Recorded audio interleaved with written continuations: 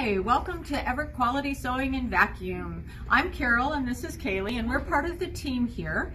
And we've been talking a lot about what people are doing while they're at home. What I want to do is I want to work on some UFOs and I'm thinking we can't get out and get things so why don't you find a UFO that you have, you know those unfinished objects and see if you can finish it up.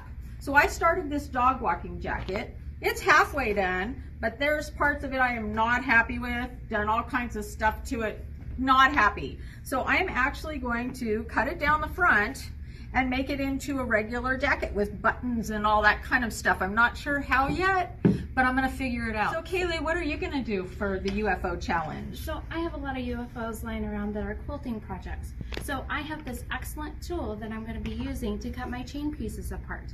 Plus, I love to go camping during the summer, and this is nice and easy and small, so I can take it with me. Yeah, so I'm ready to go. Well, that's really great. And I think you told me too that it uses the older um, rotary cutter blades that aren't quite sharp enough for fabric. And I mm -hmm. think mm-hmm. that's really cool, that whole reuse thing that we're working on these days too.